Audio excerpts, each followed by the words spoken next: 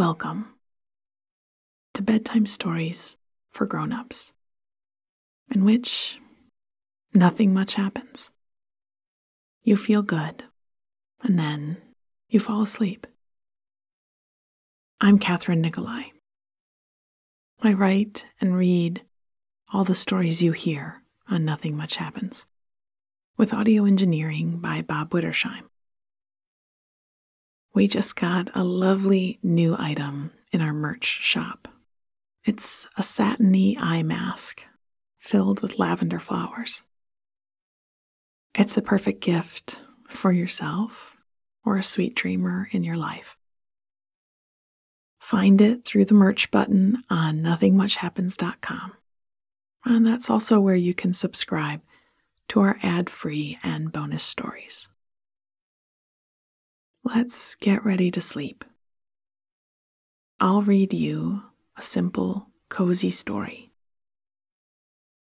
It's a place to rest your mind. And when your mind rests, your body will inevitably follow. I'll read the story twice, and I'll go a little slower on the second read. Just follow along with the sound of my voice and the cozy details of the story. Pull them around you as you would a soft blanket. And if you wake in the night, take yourself back into the story just by thinking through any parts you can remember. This trains your brain to return to sleep mode, and the more you practice it, the easier you will find it. Now, it's time to switch off the light. Set aside anything you've been looking at or working on.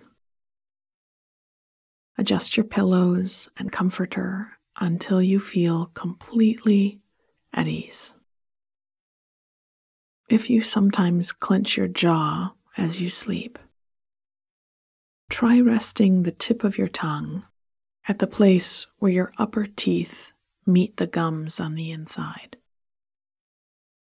That will help to keep your jaw relaxed. Now, take a deep breath in through your nose and sigh out through the mouth. Again, breathe in and out. Good. Our story tonight is called Supper Club. And it's a story about adventures in cooking and friendship.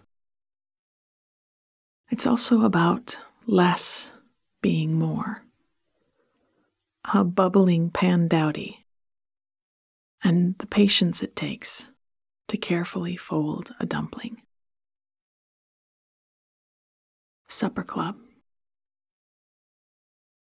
It had started just because it takes quite a few hands to roll grape leaves.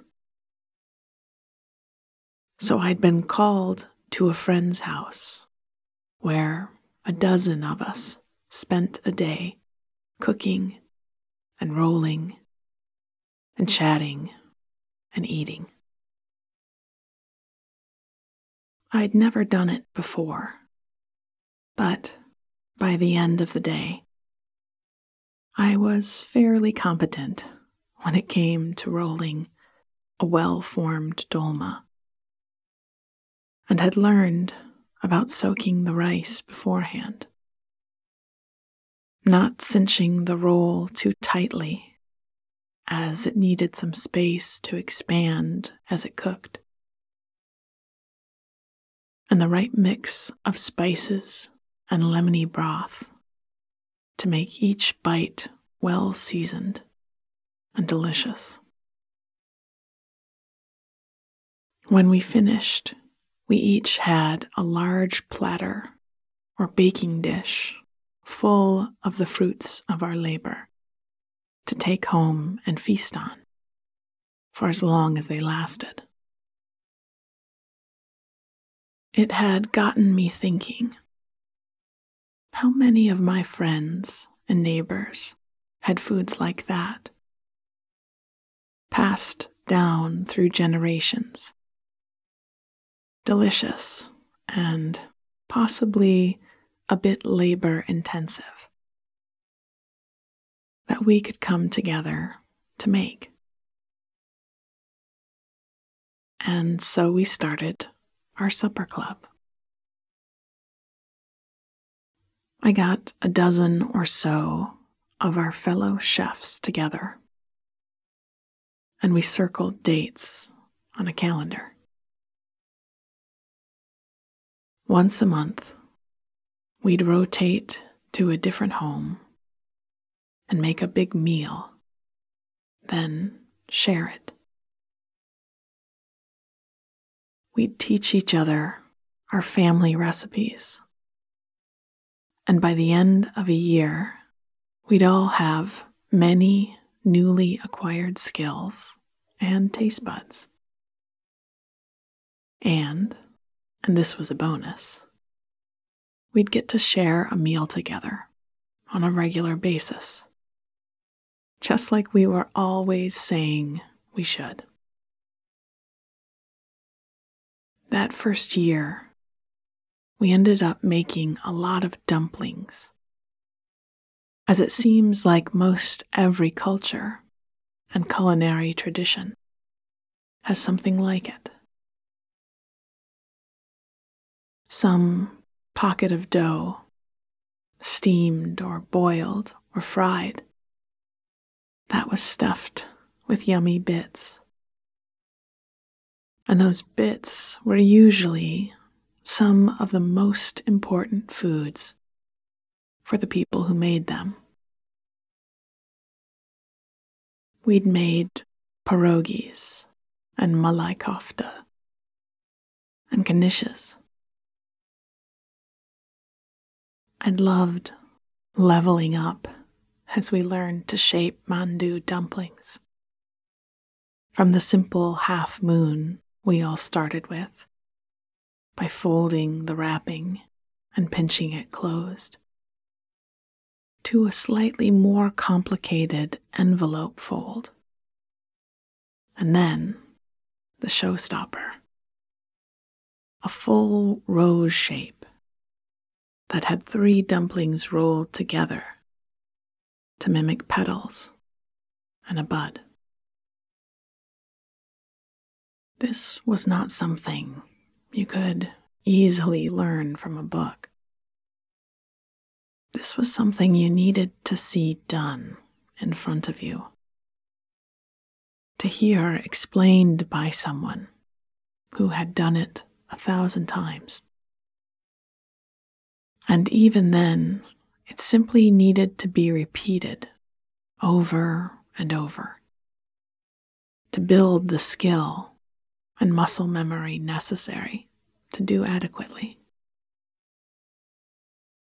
I found myself so grateful to my friends and neighbors for sharing each process with me. And making them was quite meditative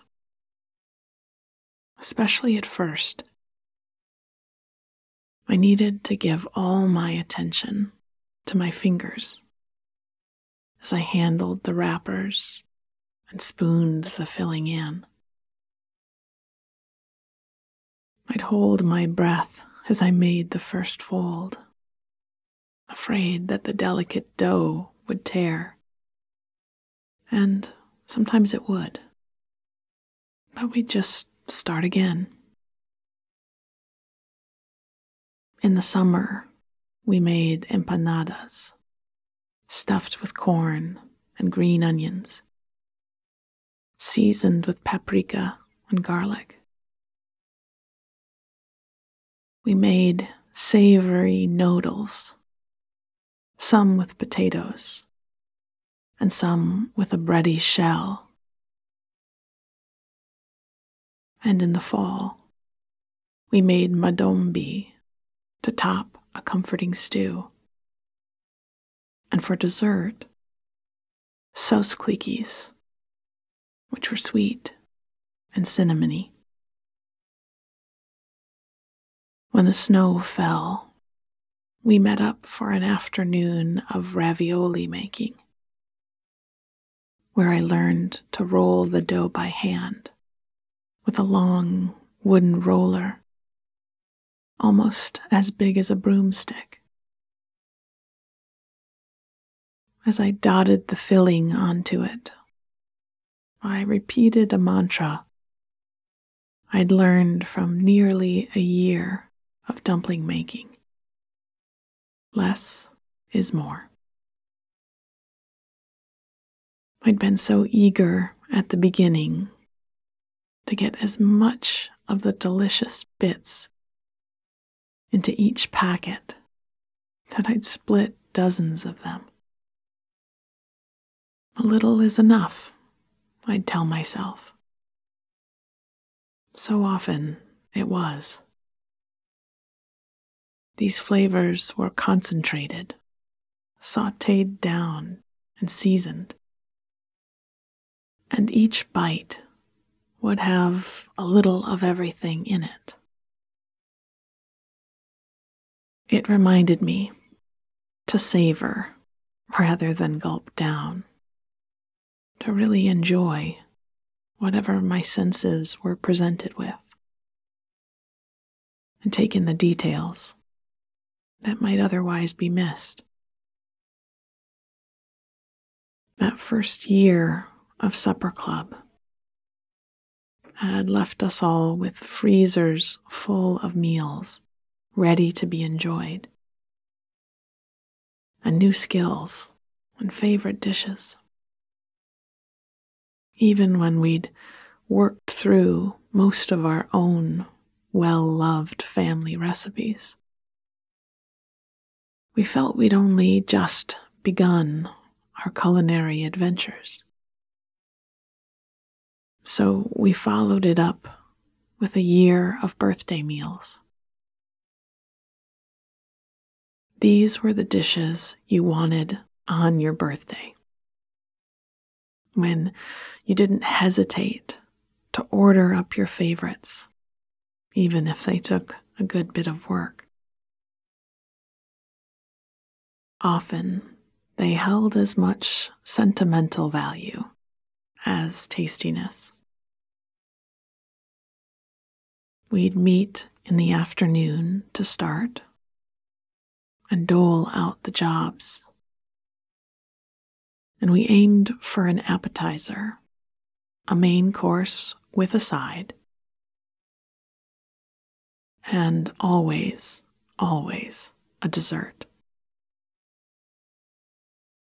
That became my favorite part of the meal to work on and enjoy. We certainly baked cakes, classic chocolate or vanilla cake with sprinkles. And in the summer, a pale yellow lemon cake with raspberry filling. We also had a fair number of requests for pie, blueberry, and peach, and an apple dessert called a pan dowdy. It had a sweet apple filling and a layer of pastry rolled out on top. But halfway through the baking, we took it from the oven and broke up and pressed down on the top crust so that the fruit would bubble up around it. This started a long discussion on crisps and pies, and we found that just as we had many versions of dumplings in our repertoire, we all had a different name for a slightly contrasting fruit dessert baked in the oven.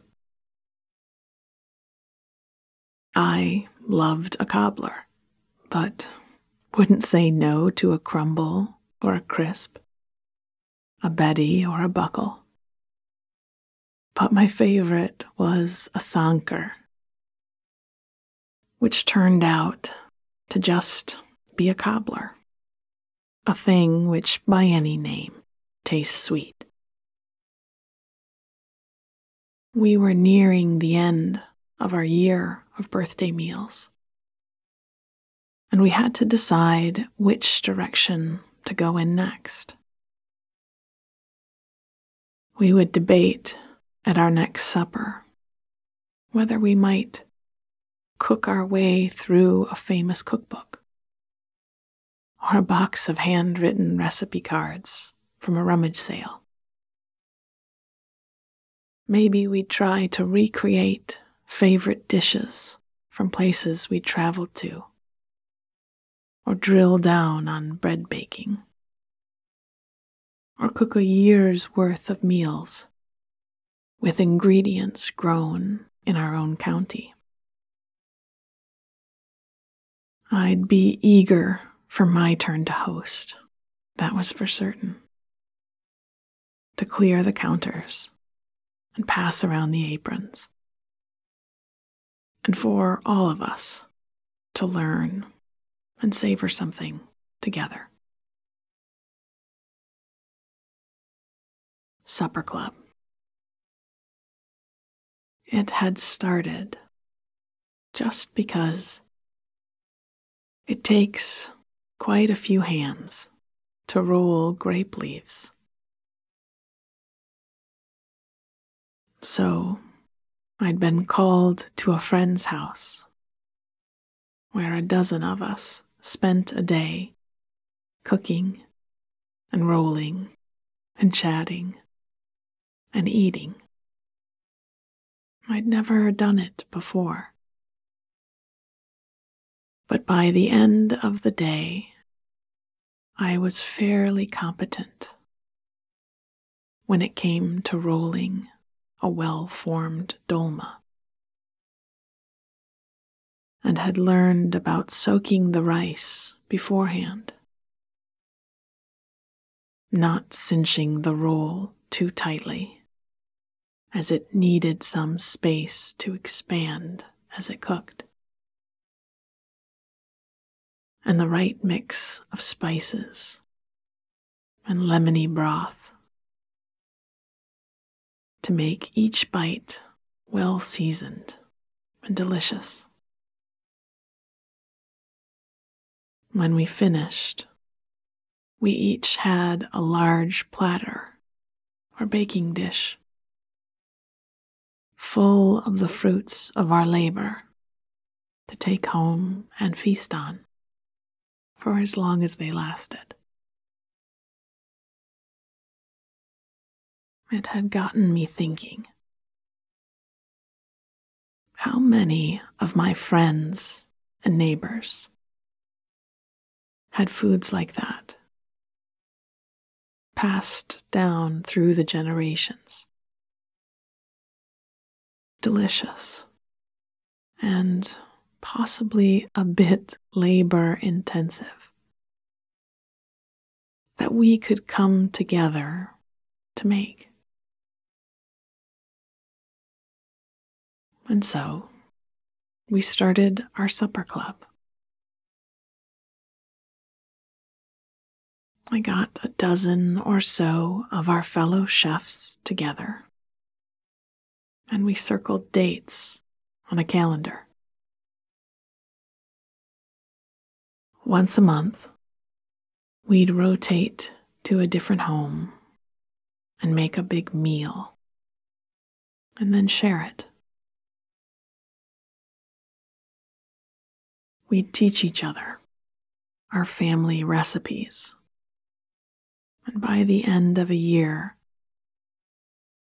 we'd all have many newly acquired skills and taste buds. And, and this was the bonus, we'd get to share a meal together on a regular basis just like we were always saying we should. That first year we ended up making a lot of dumplings. As it seems, most every culture and culinary tradition has something like it. Some pocket of dough, steamed or boiled or fried, that was stuffed with yummy bits. And those bits were usually some of the most important foods for the people who made them. We made pierogies and malai kofta and knishes. I'd loved leveling up as we learned to shape mandu dumplings. From the simple half moon we all started with, by folding the wrapping and pinching it closed, to a slightly more complicated envelope fold and then the showstopper. A full rose shape that had three dumplings rolled together to mimic petals and a bud. This was not something you could easily learn from a book. This was something you needed to see done in front of you. To hear explained by someone who had done it a thousand times. And even then, it simply needed to be repeated over and over to build the skill and muscle memory necessary to do adequately. I found myself so grateful to my friends neighbors for sharing each process with me and making them was quite meditative, especially at first. I needed to give all my attention to my fingers as I handled the wrappers and spooned the filling in. I'd hold my breath as I made the first fold afraid that the delicate dough would tear. And sometimes it would. But we'd just start again. In the summer, we made empanadas stuffed with corn and green onions seasoned with paprika and garlic. We made savory noodles, some with potatoes and some with a bready shell. And in the fall, we made madombi to top a comforting stew and for dessert, susklekis, which were sweet and cinnamony. When the snow fell, we met up for an afternoon of ravioli making, where I learned to roll the dough by hand with a long wooden roller almost as big as a broomstick. As I dotted the filling onto it, I repeated a mantra I'd learned from nearly a year of dumpling making. Less is more. I'd been so eager at the beginning to get as much of the delicious bits into each packet that I'd split dozens of them. A little is enough, I'd tell myself. So often it was.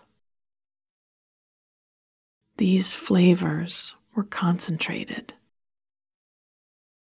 sauteed down and seasoned,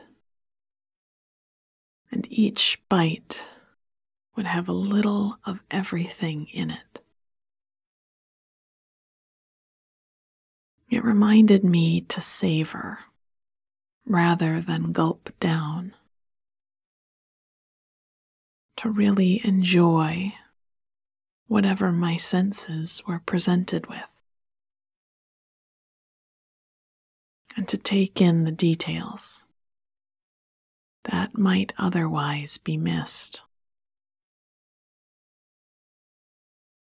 That first year of Supper Club